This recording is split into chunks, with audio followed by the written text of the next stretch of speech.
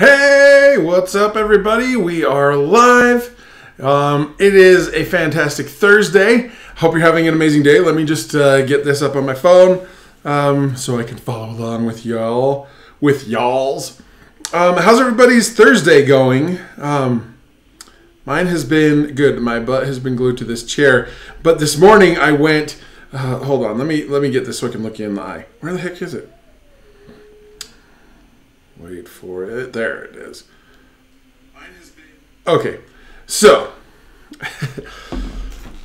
mine has been uh, my day has been pretty pretty awesome.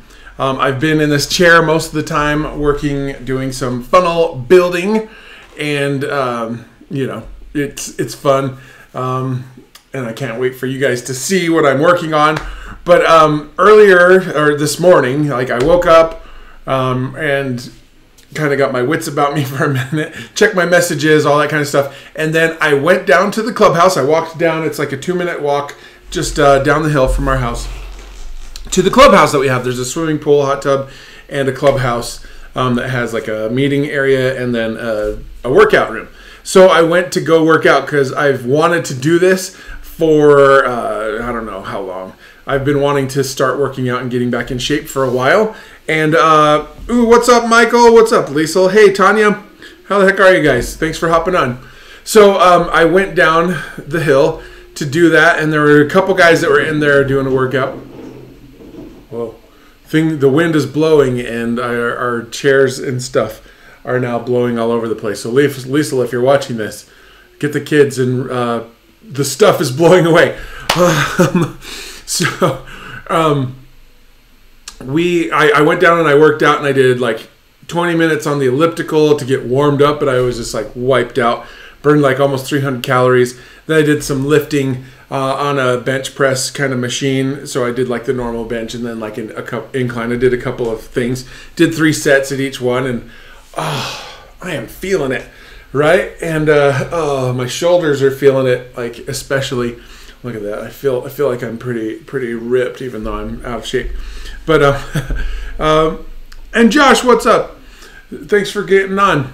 So um, yeah, it's it's been awesome. Colleen just hopped on. Had a great conversation with Colleen in Messenger earlier today, um, and and things like that. And Colleen, I want you. So you're here. Colleen has this awesome page, and she's been publishing and doing some stuff on and uh, I I want you guys to go and follow it and like it. So Colleen, put in the comments. You have permission to put the link to your page in the comments. I want everyone to go and like it. Okay, so there's your first assignment uh, for the day, right? But um, Colleen, uh, I'm super excited for the things that we talked about and what she's going to be doing. It's going to be awesome.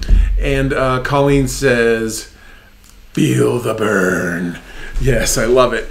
Um, and um, so she's got some cool stuff going on. And then Lance went live today, and he shared some exciting news for Aspen Mountain Plumbing. Uh, how they're going to be doing consignment with parts, and they worked with a, a, vendor and all this kind of stuff, and so they're getting ready to implement and do all that kind of stuff. So, congratulations to Lance on that cool announcement, and it, be- helps you to better serve uh, your clients. And then, congratulations to Colleen for being awesome and for sharing her goodness. And uh, drop your link, Colleen. And when you do, I'm going to put it on the screen so we can all follow you. Okay? So, oh, here it is. So, everyone go and follow right there. Um, Colleen Griffin. She's awesome. So, um, yeah, I'm, I'm. We'll see what tomorrow feels like, right? I'm gonna go work out, and I'm just like, oh, sore. So uh, of course I have to keep it going. I can't just do one day and then quit, right? So um, that is the fun. Today I want to talk to you guys about one thing that you need to and have to do if you want your clients to show you the money, right? So that is what we're going to talk about today, and uh, I'm excited for this. So let's jump in.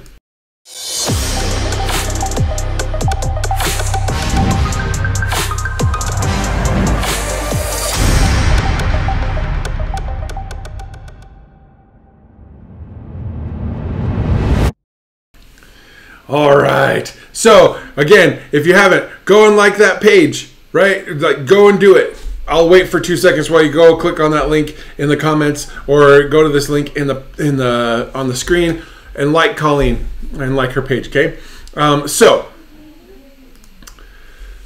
Josh says you worked out good on you, buddy. Yes, I did it, and uh, the first of many to come. So I'm excited for that. Um, so today I am talking uh, about. I've, I've been thinking a lot about you know the phrase "show me the money" and stuff like that.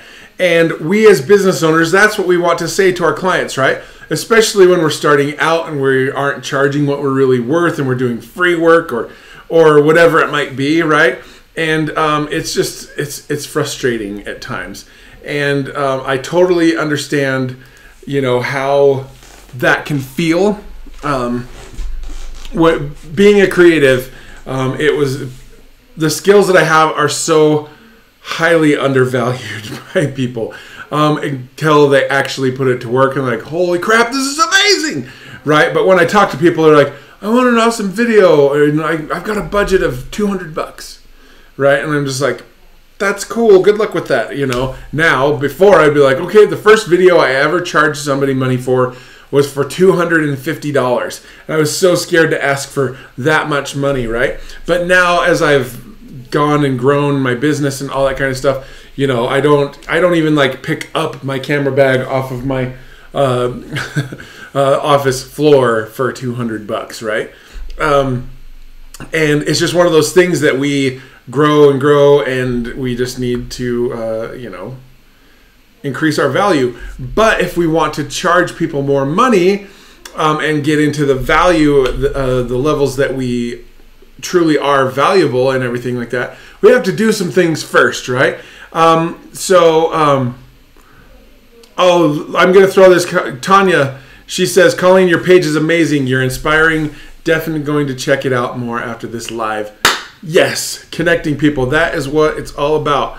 That's this is why I love you guys. Okay, so um, today, uh, when we think about charging more money, what are some things like? Tell me in the comments what you think uh, you need to do or have in place or whatever in order to charge uh, customers what your true value is, what you feel your value is. Like for me, I don't do video. I do video projects in the twenty five thousand dollar range. I've done ten thousand dollars for just one little video. You know, twenty five thousand dollars for campaigns. I did another single video that was ended up being like five minutes long for eleven thousand dollars. Right, um, and so that's where I work when I the the neighborhood that I work in for the videos that I create for companies and for people, right? Um, I I sit down with people for 90 minutes and help them flesh out their stories, right? Help them uh, work out and go through their whole life story and figure out their brand story, the thing that's going to connect them to their audience, right? And people pay me $2,000 to sit down for 90 minutes and have my attention and work through things, right? Um, it's it's a lot of fun, and um, I've been hired to write scripts for video sales letters, you know, for four or five thousand bucks for for a couple of uh, two minute long scripts, you know, um, and I could charge more, right? I want I'm wanting to charge more because all of that stuff is time intensive for me, right? Um, but I've been able to increase my uh, my rates and my costs and things like that that I charge people because I've done some things. So what? What do you um, what do you guys think that you need in order to charge your customers more? Can you think is like let me know in the comments what you think you uh, need to have in place or do or whatever in order to charge uh, your customers, your clients, what you really would like to make, uh, whether that's $2,000 or $10,000 or $20,000 or $100,000, right? Um, what do you have to do in order to be able to charge that much? Go. Ready, go. And I'm to look and see who's on. Ashley just hopped on. What's up, Ashley? Thanks for jump, jumping on. Um, yeah. Any thoughts? What you need to do? It's one. There's there's one thing that I'm gonna say and it is bring the value. Show value, right? And what does that mean? Um, value immediately translates and translates and connects to cost or price, right? The more valuable something is, the higher it costs, uh, the more it costs, right? Um, Tanya says testimonials, proof that you are worth it. Definitely, those help. Um, but the proof that like test how you get testimonials is by delivering, right? Is by giving them what you said you would and then some. That way, they're willing to take some time out and do a testimonial for you, right? Um, Josh says, believe. You do have to have belief in yourself that you are worth what you want to charge, right? Absolutely have to have to have that belief because if you don't believe it, your customer or your client, potential client, isn't going to believe it either. Because we're like, and charge like, right? If you don't believe it yourself, they're gonna not they're not gonna believe it because it's gonna translate in the way that you uh, share it, right? Michael, he says many factors uh, presentation of products, look and feel of business, emotion, absolutely. All of those things, let's look at that. Presentation of products, the look and the feel and of the business and the emotions that you bring, those are value, right? Like that's you don't just um, if I'm creating a video for somebody and I just say, hey, we're, we're going to do this video and it's $10,000 without knowing anything about it. That's usually where I start my quotes with people because it weeds out a lot of the tire kickers and people who aren't uh, ready to, are prepared to do business the way that I do it, right? Um, but if I just say that without knowing it, like it's ten thousand bucks, send me the check and we'll come out and we'll figure it out, right? Um, where's the value in it? I'm just doing a cost. But if I talk about how we're going to do it, what the process is, and everything that's involved in it, and we craft that story that's perfect, or you know that to to really hit people through video and all those kinds of things. We go through that experience, and I talk about and show uh, you know what goals is um, are we going to accomplish by creating this video and this message like what do you want to happen here's the things that we can do to be able to take your story to that end, right? And that is where the value comes in. That's where people see, like, oh my gosh, he's not just a dude that's going to point a camera at me um, and uh, chuck it in his computer and turn around and edit it in two minutes. No, it's like a process, and there's a lot of things that go into it, right? Um, so with you guys, and then Colleen, um, ask for it. If you don't ask, they won't show you the money. So, exactly. And the way that when you ask for it to have that confidence and to make it a no brainer for them is to provide and show the value. Now, I'm not talking about your typical, you know, uh, webinar stack slide um, where it's like, you get this and it's this value and this and it's that value and this and it's this value, you know, all that kind of stuff. Um, you can do that. There's time and a place for that, uh, right? But I'm talking about you don't have to do that. That's not how you show the value by literally saying there's this and here's a dollar amount and this and a dollar amount. Um, it's through the process of working with you that you bring insane val excuse me value to people. And uh, let's see, just looking to see if anybody else popped on. Um, so I want to share like a little story. I actually shared this in a live a few weeks ago. Uh, it's probably about a month ago now, but um, I was I was headed to a shoot a few weeks ago with my friend Jane, and uh, we were. I stopped at the gas station just to top off, uh, you know, before I headed out. And the gas station attendant, like I went in to prepay, there was something weird with the at the pump where it wasn't reading my card, so I went in to the desk and said put 30 bucks on it or whatever and um, it was funny she was just like saying i can't remember how just making small talk at the counter right? And she we were talking and she was talking about how gas prices are like man it's it's crazy how expensive gas is. It's over three bucks a gallon you know all those all these kinds of things right? And I was just like, yeah, it's you know, I I wasn't even paying attention to the cost because, like with gas, the value is you get to go drive your car, right? Um, the price is the price, and there's nothing you can do about it. Um, and so I, I was just like, yeah. And then she was just said, increase wages, right? And I was just like, ah, right. And meaning she was just saying like, pay me more money so I can afford gas, right?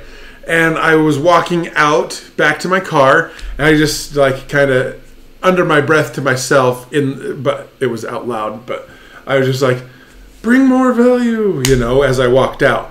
And some people might say, well, that's kind of a jerk thing to say, Nick, you know, right? And maybe it is. But I was thinking, I'm like, you're a gas station attendant, right? You're, you're, no, there's nothing wrong with that, but like what she does for however many hours a day that she does this, or however many hours a week that she does this, is she stands there and um, people go outside normally and just like put their card in and pump their own gas so she doesn't really have to do anything there. Um, she'll tidy things up possibly when there's a, a dead spell. But basically, she's like somebody goes and buys a Mountain Dew or a Slurpee or a Twix bar, peanut butter Twix, which are the absolute best, by the way. Peanut butter Twix. Anybody like anybody like peanut butter Twix? If you do, throw throw those hearts and emojis. Um, so um, it's just one of those things. I, I love those. But she rings those up, and you know, it's like she's got a computer screen in front of her, and she pushes this that she scans it, and that will bring up the thing, and she just beep beep beep tells you how much it is. Most of the time, she's not actually taking your money or taking your card and doing it. You're doing it yourself at the little thing, in case unless you pay with cash, and then they have a minor stress attack because they're like, "How do I make change on a three dollar forty-seven dollar purchase and he gave me a ten dollar bill, uh, right? um, but there's not a whole lot of value in what she's doing, right? Like honestly, it's not something that you have to have specialized training. You learn the system of the computers and how they do stuff, right? But that's not something that you take years or even months or even weeks to learn. It's a really fast learning curve, right? And so when the value of the work that you're doing isn't high, you can't expect high wages or to make a lot of money, right? I don't know what I can't remember what minimum wage is now. It's probably around eight dollars an hour, is my guess. I don't know, um, but you can't ex- make eight dollars an hour, or, or you can't, you know, just push a button on a screen that there's a key at McDonald's. There's a kiosk where you can order your own food. So like McDonald's is like almost about to eliminate the front counter humans, right? Um, your job can be replaced by me doing it myself or a robot or some or computer doing it for you. You can't be like, I need to make twenty five dollars an hour uh, doing something that doesn't involve that kind of work, right? Now that's something different. All of us are entrepreneurs. We have our different businesses, um, all that kind of stuff, and uh, that actually made me laugh out loud. Says Josh. Um, it's it, it's funny how how people think sometimes, right?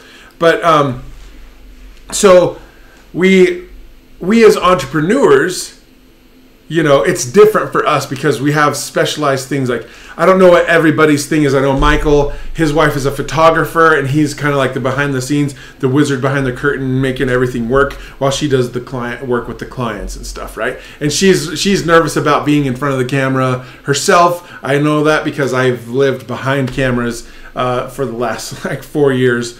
Uh, well, three of starting four years ago for a couple years, right? Now I love being in front of it. I'm super comfortable and I, I do it every day. And uh, what's up, Amy? How the heck are you? Good to see you. Um, how you been? How's the boat? How's life on the on the on the ocean? Um, but like Colleen, you know, she's working on affiliate stuff. She's got this health movement that she's this journey that she's on and doing all these kinds of things, right? Um, there's value in her expertise and what she's learned to people, right? Like for me, like she's into like she does the Pruvit and ketosis and ketones and and all of these things. Um, and I I totally want I I need to get get a get some of that and just try it because I hear a lot of people trying it and I love I sit here and I drink like six of these a day, you know So uh, it would be nice to throw something that has some flavor in there, right? But it's like it's it's something that she has uh, valuable knowledge that people will pay for her coaching, her guidance, and especially as she's been documenting this journey of her getting back to health and taking the small steps to the fast burn, right? That's she's doing the work and the everything that she's learning through that is uh, valuable for the people she's going to be serving with it, right? Um, so it's we're not we're not somebody at a kiosk uh, pushing a button um, that everyone else could do. You know, we're doing stuff, but in order for us to be able to charge and make the money that we want, we have to bring the value. Here's another example of this. Um, so in 2017, it was July 7th, 2017, to be precise. Um, I uh, I complained on Facebook about some challenges that we were having, and my friend from uh, childhood, Russell Brun- Russell Brunson, saw it. Um, oh, thanks, Colleen. That would be awesome. Um, I will I will do that. If I don't do it tonight, remind me, and I'll send you my address. Um, but um, I was working in film full time. Um, working in film is not Hollywood glitz and glamour if you're a crew member. It is long and arduous and grueling work. If you're if you're number one on the call sheet and you're like the star of the movie, yes, you have work, um, but you know, it's it's not as grueling as what I was doing, which is grip and electric, where I had to show up early sometimes, like sometimes two hours before call time to pre-light and get things set up. Um, and I was, you know, lifting and moving, having stuff all day, building things, taking them down, pick up, put down, loading the truck at the end of the day, being the last ones out typically because we had to load all the gear back into the truck. We had to get them on the carts and then the carts into the truck and then count and make sure we had everything, right? It was just like a long thing. And on good sets, I was making $300, $350 a day uh, for a 12 hour day. Um, a lot of times it goes over, you know, 12 hours. And so um, on paper, let's just let's just calculate this. Um, I'm just going to calculate this. So if I made 300 a day, five days a week. That's 1500 a week. Times that by 52 weeks. If I worked full time at that rate, I would make $78,000 in a year, um, working five days a week. Typically, you'd have six. So, you, you know, sometimes you have six. So it would go. But there are lots of downtime in between shoots and things like that. So it's hard to have that consistency, right? Um, but if I'm working 12 hours times 5. That's 60 hours a week times 52. That's 3,120. So I said 78,000 divided by 3,100 or 20. I, I, I'm, I suck at math, but it's not a great hourly rate, right? uh, when you think of the time that you spent. It's insane. And so when when you think about uh, it that way, like seventy eight thousand is you know not terrible by today's standards, right? It's respectable for many people, but the amount of work that I was putting in, it was tough right? But on a movie set, and this is where Russell he he told me he's like, dude, I know what you're working, I know what's wrong.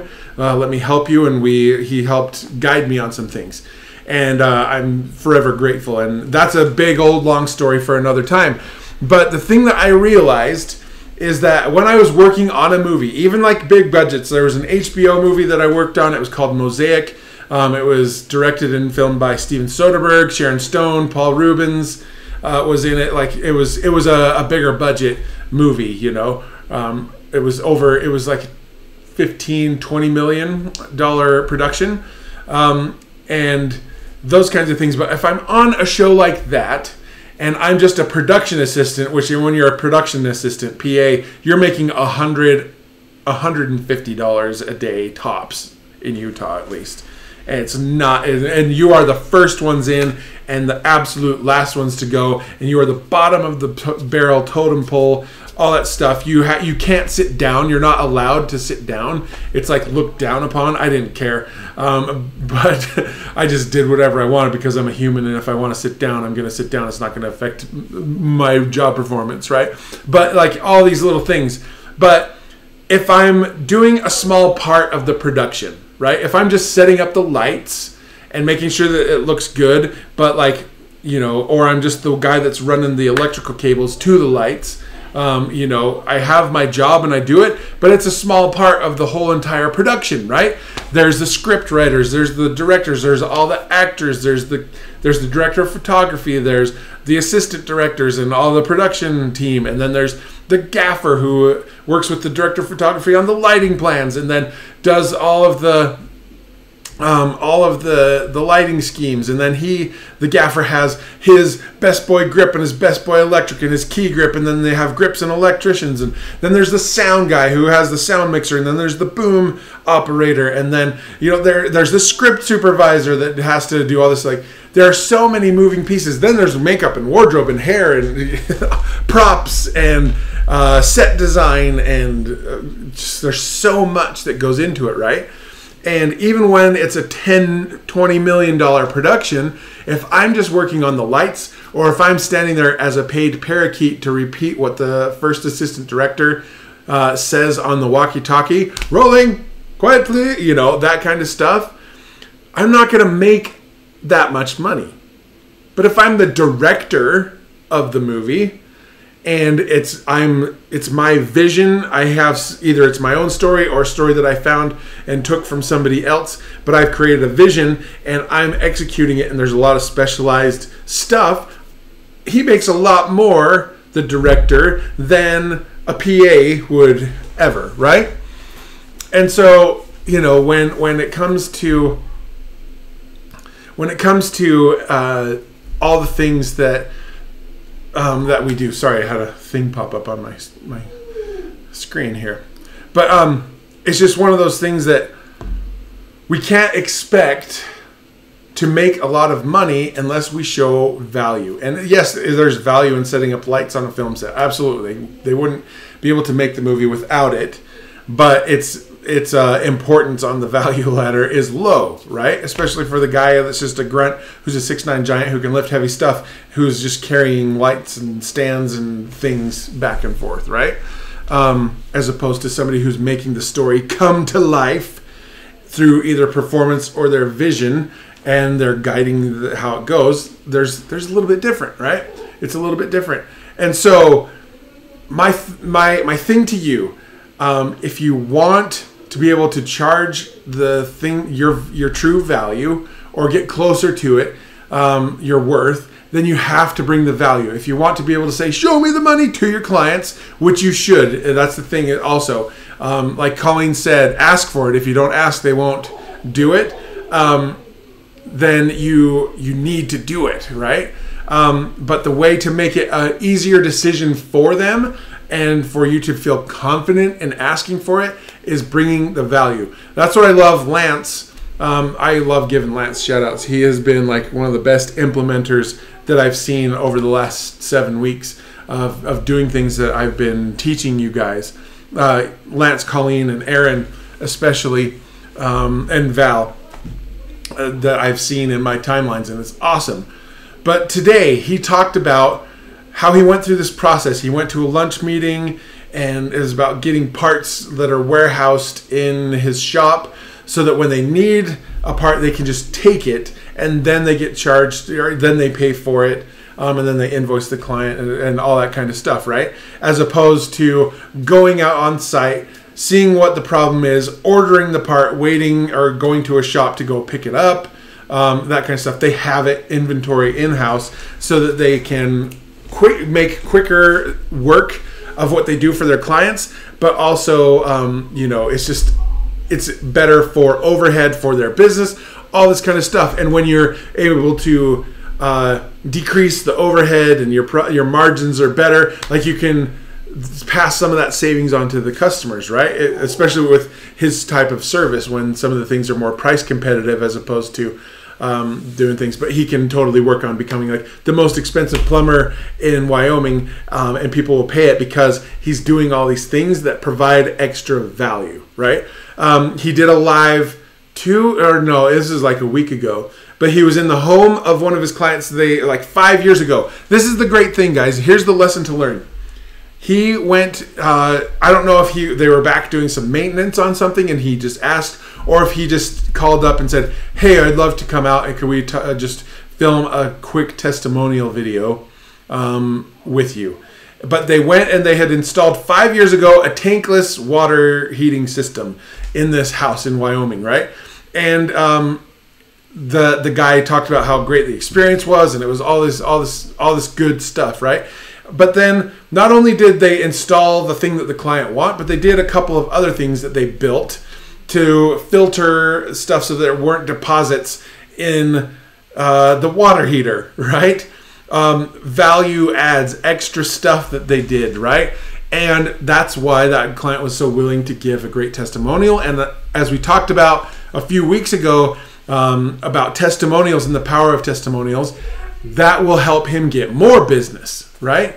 By using the experience that somebody else had with him to be able to do it. But that experience that he shared, like, um, who was it? Who was it that shared it? I'm just scrolling up. Tanya talked about testimonials, right? Testimonials are another way that you show the value instead of doing like that stack value stack type of thing. Testimonials show your value because it's customers who have already paid you talking and telling everyone how great their experience was with you. And that is super valuable to you, but also to people who are looking. That they know that you're like, oh man, this Lance is awesome. Oh, Colleen is super great and she did this. Oh my gosh, Tanya is amazing at this. Oh, Josh did this. Michael's did this, right?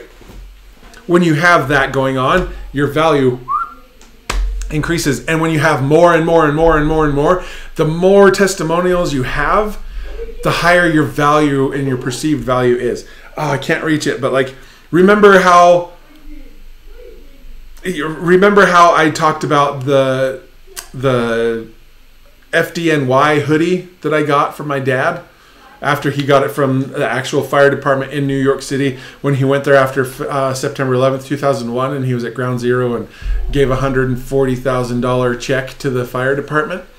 Um, that the stories that we tell are where the value is built. Now, again, like I said, there is a time and a place for having a value stack, and that's like you get like the the infomercial. You get this set of knives at this value, and this set, and this, and this, and this, and this. A total value of five million three hundred thousand forty-two dollars, but you pay two easy payments of nineteen ninety-nine. Right? There's a time for that, but the stories that we tell, the narrative that we put out, the stories that our clients tell, and all that kind of stuff, that is where our value increases. It's not just because we have technical expertise or we're really good at what we do. There's value in those skills, yes, but the value goes to the next level with those intangibles, with those extra things, with your expertise, with your awesomeness, and the things that you bring to the table, right? Your service, um, those things that you um, stuff. Um, so Lance says, know your honest hourly price, overhead, and everything. Then you'd be confident in that price, right? You have to be educated on your costs. I know for me, if I was to bring in um, my skeleton crew, the sun's starting to peek through the clouds, so I'm getting a little bit uh, overexposed to my face. Um, but, um, sorry, I'm just trying to decide if I want to change change my blinds really quick. But um, that when you know that stuff and you like for like I said, for me on a skeleton crew, like on a video shoot, um, if I'm bringing in, um, you know, uh, a camera operator, um, a lighting guy, a sound guy, and like an assistant to help with everything, and I'm there too. Um, just for those four people, my costs are right around twenty five hundred dollars for a day right? I know that. So that when somebody says we need to do this and I can see that's going to be a two or three day shoot, I know that I have to charge at least 7,000 dollars or so to be able to cover my costs just for production. That's not the post production and editing and graphics and all of that kind of stuff. And yes, I want to hire that stuff out instead of do the technical work myself so that I can work with the client on the messaging, right? So that's knowing our costs and everything is where we really can be confident in the value um, that we bring. And if you have to line item stuff out a little bit to show this cost this and this cost that, um, that's fine. The risk you take when you do that, though, is then clients automatically think that it's something they're like, well, then we'll just well, won't do that guy and this guy, and we don't need this, we don't need that. We'll just we'll just do it uh, with my phone. We don't need a camera operator, you know, that kind of stuff. Um, and for me, like with the video production stuff, it's not. That's that stuff is not nego is non-negotiable, right? Um, and so that is that is uh, you know why why it's important to be able to bring and not be able to but to flat out bring the value to your clients okay? Pause one second. Go in the comments and let me know or is this making sense? I'm going to just close my blinds a little bit and because uh, i'm getting a little washed out. One second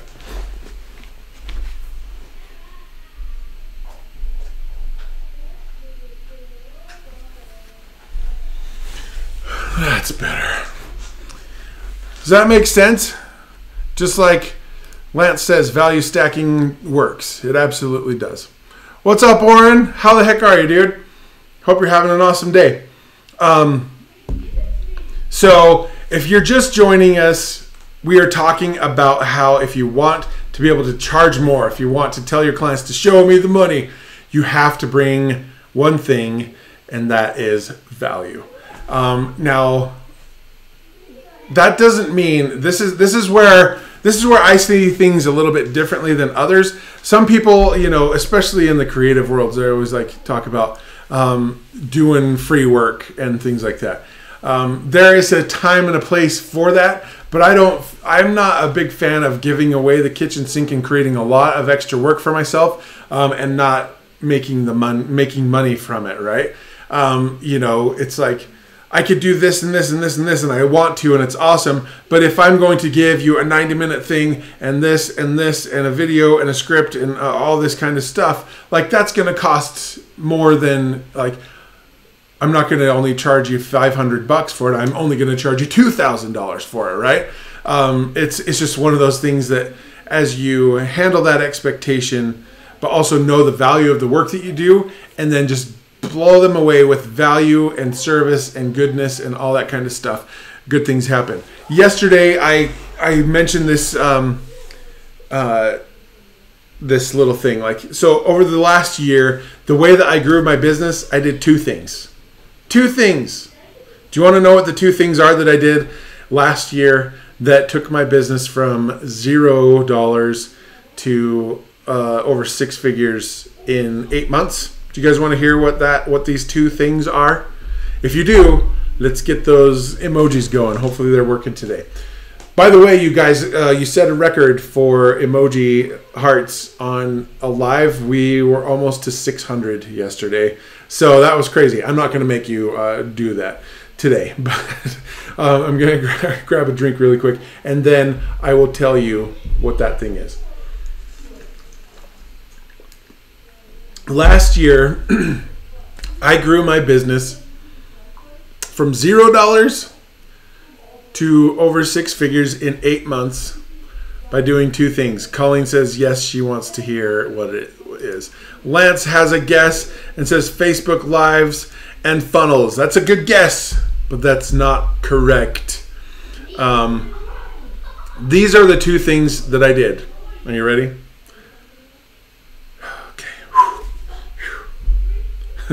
I did two things. I shared my story. I shared my personal story and my journey. And I served people. Honestly, all the growth that I have, I can trace back to those two things. Those two things telling my story, serving people.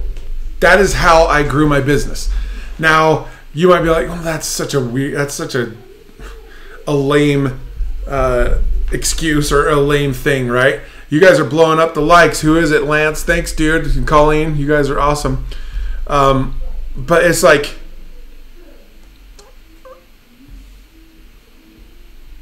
Oh, thanks, Kurt. Holy smokes, awesome haircut. Um, I did those two things, and you, I, I'm not going to go into how exactly um, I did them. Facebook Live was the the main thing that I did to get my story out there, but I served people as well. Um, I did things without an expectation of getting anything in return, um, and you know, I I spent hours and hours on Zoom calls getting to know people and giving some insights and hopping on calls and, and helping people with things, right? And um, some of them turned into clients later because they got so much awesomeness that they're like, oh my gosh, okay, I'm ready to take this to the next level. What does it take? And I'd say it's, let's do this 90 minutes. It was two hours at the time. 90 minutes, the sweet spot I found. But like, it's two hours and it's two thousand dollars and like okay where do i sign up and they would pay it immediately without question because they knew uh, that it was totally worth it right uh, based on what they'd heard about me or what they'd experienced with me right um, some of them never turned into clients they just those people just took right um, and that's okay because i didn't i didn't feel super bad about it um, because uh, people need help and I was willing to to give it, right? Um, so Colleen says you have coached people with these lives, thereby serving them. Exactly. See, it's when like I'm excited. If you if you don't like, here's a little open loop. Tomorrow I'm going to share something cool with you guys. Um, so I want you to be prepared for that. So like, make sure your notifications are on because you don't want to miss it. Um, something cool is gonna uh, I'm gonna share with you guys tomorrow. So uh, be ready for that. But like again, like by coaching, by giving, by serving and helping others. Like I said yesterday, um, that quote from Gordon B. Hinckley about forget yourself and go to work. Um, when we when we take that uh, focus, whether it's in our service in our communities or our churches or in our relationships with spouses or partners or family members or friends or neighbors um, or with clients or people that could become clients, good things happen when you make that your focus, right? When you forget about your ego and all those kinds of things, but put yourself um, out there to help and serve people, good things happen. Referrals happen. Like that was the thing. So so many people last year didn't become paying clients, but they introduced me to somebody who did become a paying client. Right? Um, they facilitated things like um, there's there's a guy Ariel Brailovsky. I love that guy. He's in Spain, but he's uh, in the coaching program that I'm in.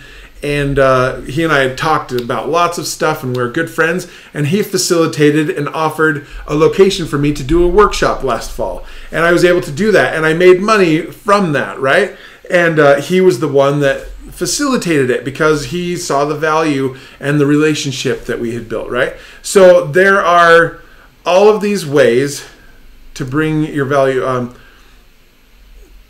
yeah, Colleen talks about how I remember your story about how you landed a big client right after signing up for 2CCX. I totally like it's one of those things like when you take action and you're going, like things fall into place, right? Um, there was a quote that it was this is like uh, geared towards religion in particular, but it's like it says like when we put the things of God first, all prop or when we put God first, all proper things will all things will fall into their proper place or drop out of our lives, right?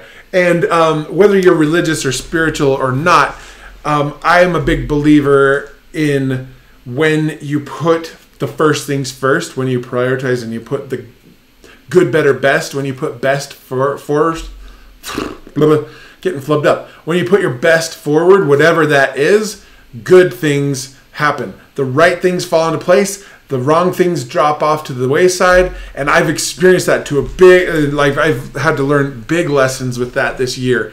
Um, man, like you know, I've been sucker punched a few times this year, and it's taken its toll on me mentally or emotionally throughout the year. I've had my ups and downs, and things are things are good. I'm in a good place. Um, like it's been hard financially, uh, all this kind of stuff with all of this turmoil and everything, right? But because going through that helped me focus, um, I was able to get things, uh, the right things in place, and everything else fell by the wayside. And uh, now with these things that I'm working on, and you'll see a hint of it tomorrow with what I'm going to share. Um, it's uh, it's going to fall into place, and like everything's just going to catapult into the stratosphere, right? So.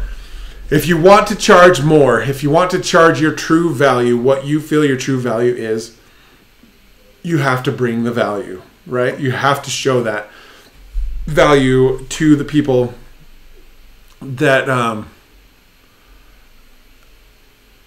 that you you want to serve. Colleen says, I, I, I I've heard that too. She I forgot who said this. Ego equals edging God out. Totally true, right? Um, it, it, depending on your beliefs, right? But like, yeah, I I subscribe to that, absolutely. But if we want to be able to charge what we want and have and charge the prices that we want, we have to bring the value, but we don't have to give away the farm either. We just serve and we do good.